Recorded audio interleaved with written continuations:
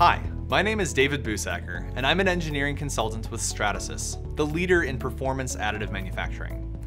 Stratasys and design workflow leader nTopology are partnering to solve business problems with additive manufacturing.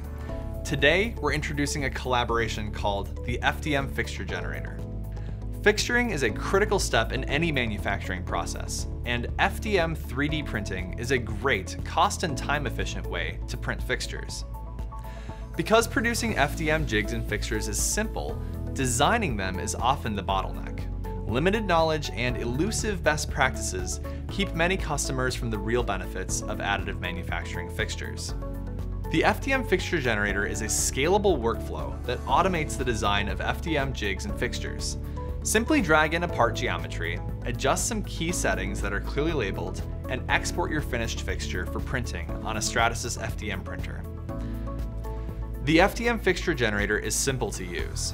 Choose your fixture shape and optional mounting locations to stabilize your fixture on any flat surface. Add standoffs to select where the fixture contacts your part and customize your part access strategy. Fixtures designed in the FDM fixture generator are designed using fractal infill, a unique design for additive manufacturing strategy which saves print time and material. Start your new fixture design experience using the intuitive Assembly Fixture module.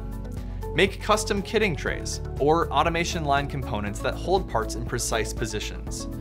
Or make your manufacturing operations safe and repeatable by holding larger parts in appropriate positions. Put the FDM fixture generator to use today. Stratasys and nTopology collaborations are available for access to the new partnership. Start saving time and money with the Stratasys and nTopology FDM fixture generator.